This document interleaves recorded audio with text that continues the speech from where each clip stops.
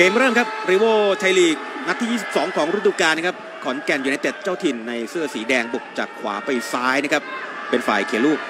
เริ่มเกมก่อนนะครับ ไปให้กับปานเดชา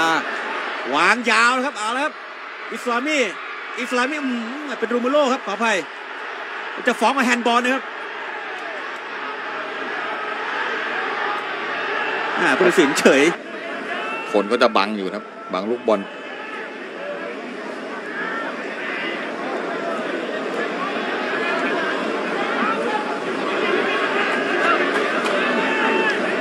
เอาเป็นว่าในช่วงนี้ก็เจ้าบ้านก็ได้ลุ้นจุดโทษกันก่อนครับ แล้วก็มาดูว่าผู้ตัดสินนั้นจะชี้ออกมาว่าอย่างไร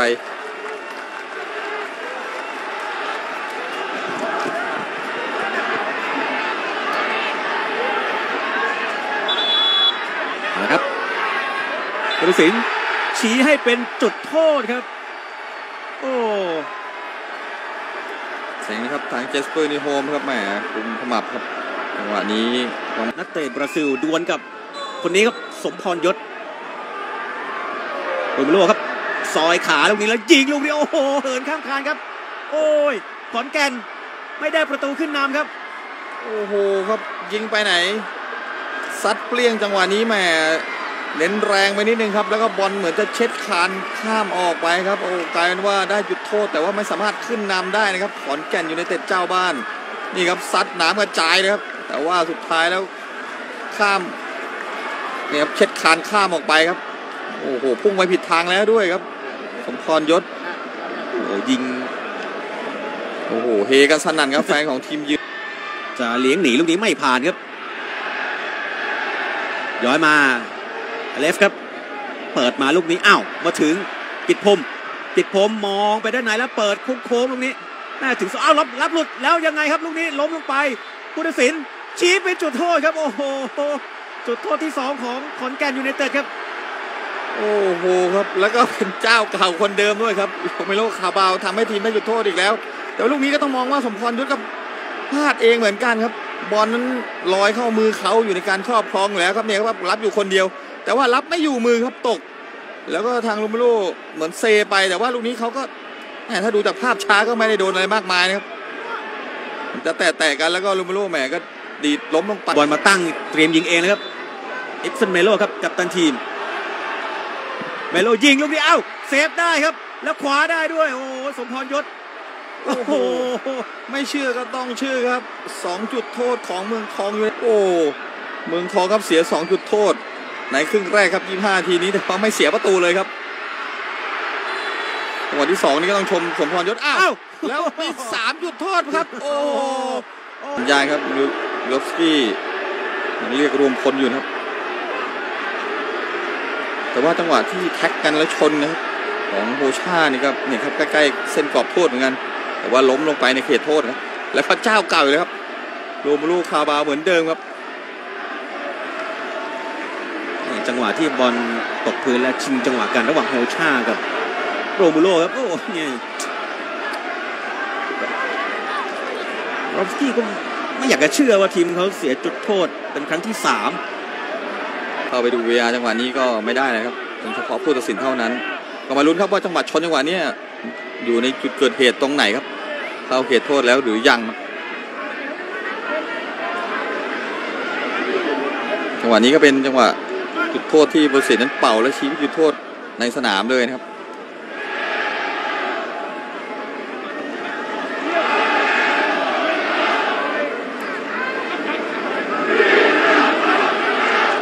เนี่ยจั งหวะก็ก้ากึ่งดูเหมือนจะชนตรง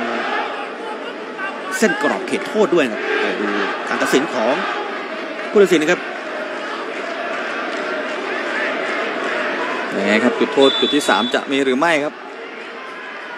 แล้วก็ไม่เป็นจุดโทษนะครับ แต่ชักใบแดงออกมาครับผู้ตัดสินทัศราวุฒิขันทวิชัยครับ เรียกใครครับ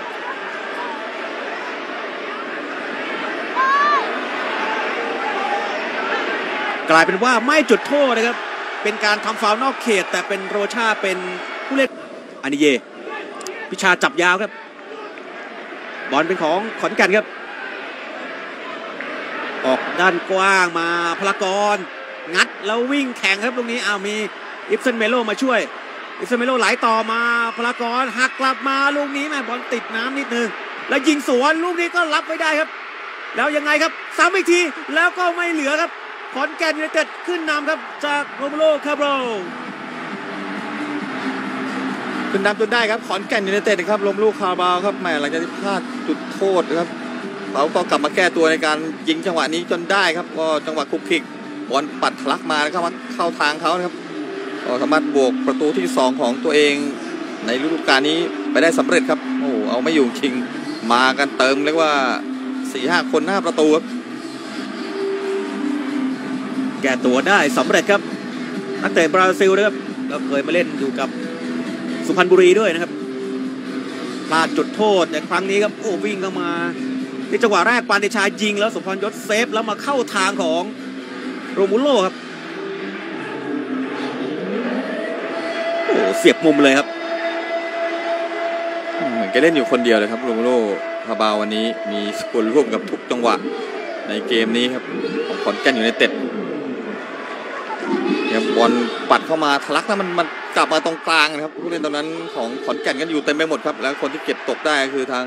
ด้วยครับก็ต้องมาลุ้นจากลูกเซตพีซครับอ่า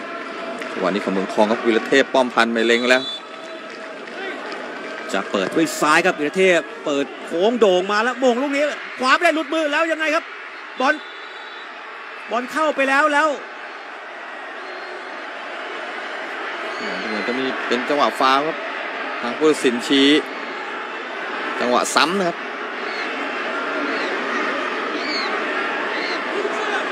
ก็คือเหมือนกับจังหวะกองกองหลังของขอนแก่นยูไนเต็ดจะมองกับหลังครับเรามาดูครับภาพช้าครั้งหนึ่งขึ้นโคกนี่ครับเหมือนจะไปโดนหัวกองหลัง เข้ามาหาประตูตัวเองนี่ครับมงแล้วบอลกลับหลังครับซ้ำ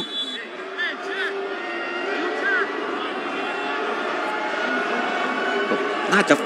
เป็นอานิเยนะครับที่ฟาวไปก่อนครับจังหวะที่นี่กระแทกด้านหลังลูกนี้ กระแทกเอฟจนกระเด็นเข้าประตูไปเลยครับคือพอบอลตกไปแล้วอยู่ไม่ได้อยู่ในการครอบครองของผู้สาประตูยศพลแล้วทางอเล็กฟิเอร่านั้นพยายามมาตัวขวางบังบอลไปนะครับจังหวะที่จะไม่ให้ซ้ำแต่ว่าการว่าผู้สินน่าจะเป่าฟาวก่อนแต่ว่าต้องมาเช็คกับ VAR อีกครั้งนึงครับเอาละครับเมืองทองก็มีลุ้นประตูตีเสมอเหมือนกันครับจังหวะนี้ ยูรอฟสกี้ครับแหมสลัดเสื้อกันฝนทิ้งไปแล้วครับมาในชุดรองเขาดีกว่าลุยฝนกันไปเลย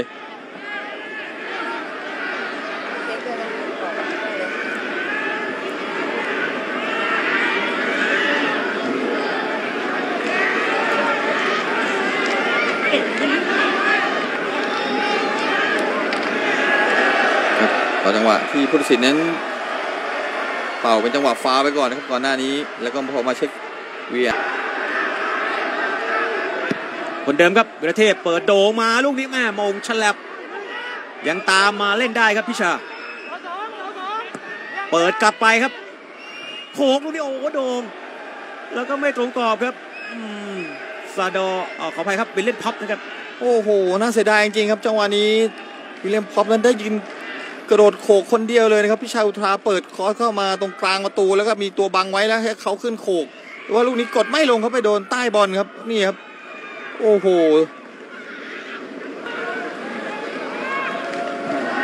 นัดที่แล้วขอนแก่นนี่เจอนครราชสีมาก็เน้นตั้งรับแล้วรอสวนกลับด้วยบอลยาวนี่ได้ผลมาแล้วนะครับเก็บสามแต้มนอกบ้านมาได้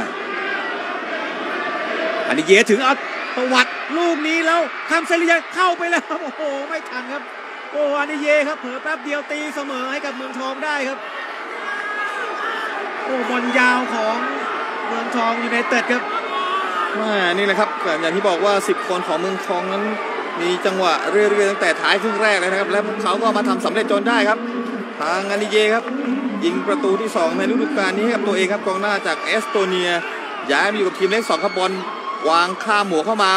พยายามจะบังบอลครับกองหลัง แต่ว่าบังไม่มิดครับโดนจิ้มโอ้โหนี่ครับโจชัวกรอมเมน บังแล้วแต่ไม่มิดแล้วก็จังหวะนี้อาริเฟียร่านั้นวิ่งไล่ตามบอลมาพยายามจะดูว่าบอลนั้นตรงกรอบหรือไม่ครับ เขาก็เล็งๆอยู่แต่ว่าสุดท้ายบอลชนเสาเข้าจนได้ครับแหมพยายามมาเท้าเขี่ยไม่ทันครับ โอ้สิบคนของเมืองทองครับไล่ตีเสมอได้สำเร็จหนึ่งประตูต่อหนึ่งแล้วครับโอ้ต้องชมความขยันของอานิเยครับก็คือกรมเม่นะจะบังให้กับยศพลที่ออกมา แต่ว่าอานิเยนี่เหยียดขาไปตวัดพอดีพอดีครับนี้โคงมา จังหวะสวนกลับของขอนแก่นครับ เอาแล้วครับขึ้นมาสองคน ไหลต่อมาลูกนี้ควบขึ้นมาเลยครับโอ้เร็วครับอิฟสันอิฟสันยิงลูกนี้ก็ไม่ตรงกรอบครับ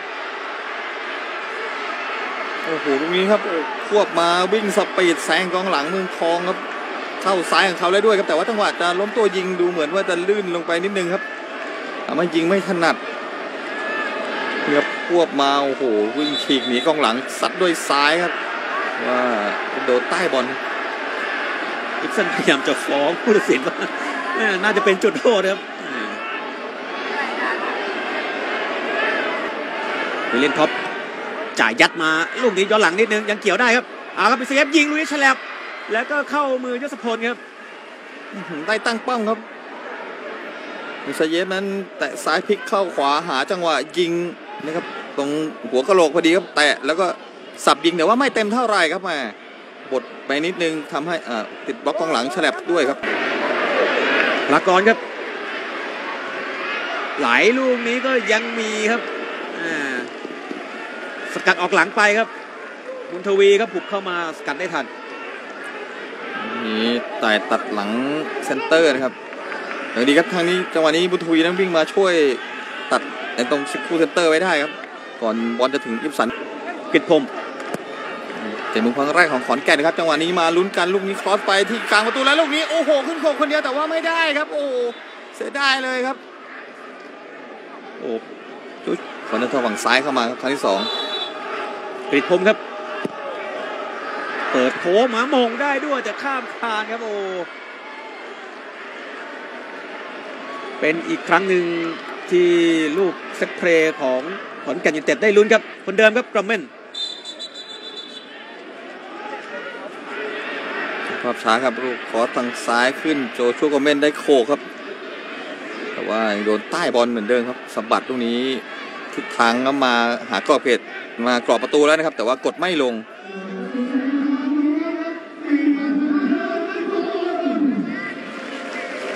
ฝนตกหนักเลยเอาบอลขึ้นมาครับ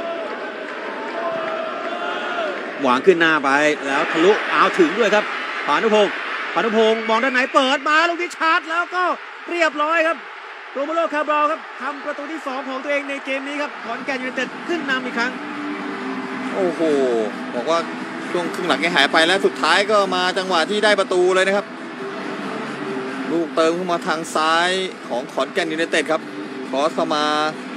เสาสองครับ แล้วก็วิ่งควบจีมาเลยครับเดี๋ยวมาดูภาพช้านะครับ การแก้เกมของเอดิโดเปเรราได้ผลนะครับจังหวะที่ เฉือกานะครับเนี่ยจ่ายบอลแล้วให้พานุพงศ์ที่เพิ่งลงมาใหม่ครับเติมกำลังสดเนี่ยเปิดเข้ามาลูกนี้ อยู่ข้างหน้าครับผู้เล่นเมืองทอง แต่ว่าสกัดไม่โดนครับอืมเป็นโรมูโลครับ ที่ชาร์จที่สองสองอะดึงเก่งลงนิดนึงครับตรงนี้เปิดมาเสาสองครับเข้านี่โอ้โหสไลด์เข้าทั้งตัวสองขากลางหนีบไว้ไม่ให้บอลหลุดไปไหนเลยนะครับวันนี้เขา บทบาท โดดเด่นมากโรมูโลครับก็กลายว่ายิงสองประตูในเกมนี้ครับ แล้วก็เป็นสามประตู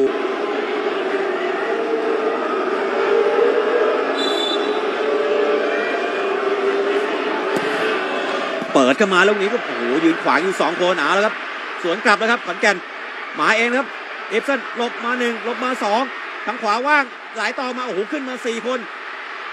พลากรคือเอาลื่นซะอีกครับโอ้ยโอ้ไม่ได้จบครับ โอ้โห มาตกม้าตายครับเติมมาสี่คน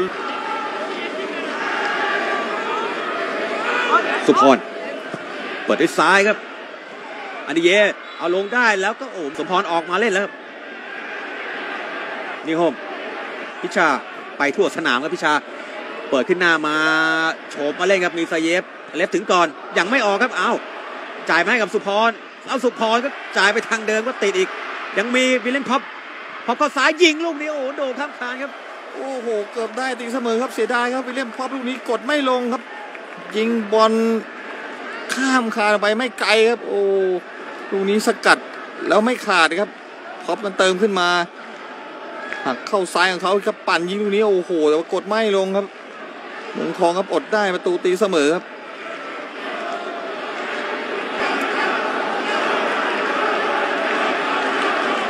รีคิกของขอนแก่นยูไนเต็ดครับฤดูกาลนี้ยังไม่เคยได้ประตูจากฟรีคิกโดยตรงเลยครับทางขอนแก่นยูไนเต็ดอิบสันปั่นลูกนี้ก็โด่งข้ามคานไปครับสามิโลครับลูกนี้วิ่งเข้ายิงด้วยซ้ายตักแต่ว่าควบคุมลูกบอลไม่อยู่ครับบอลเหินข้ามกำแพงก็ข้ามคานออกไปไกลครับก็ทดเวลาเลยมาหนึ่งนาทีแล้วครับกดไว้สามแล้วดูเหมือนว่า ผู้สินจะเป่าจบเกมแล้วครับ เป็นขอนแก่นยูไนเต็ดนะครับ ที่เอาชนะเมืองทองยูไนเต็ดได้สองประตูต่อหนึ่งครับ โดยโรโมโลคนนี้ครับเหมาสองครับเกมนี้นาที 35 จากนั้นเมืองทองตามตีเสมอจากอานิเยนาที 50 นะครับ แล้วก็ประตูชัยของโรโมโลนะครับในช่วงท้ายเกม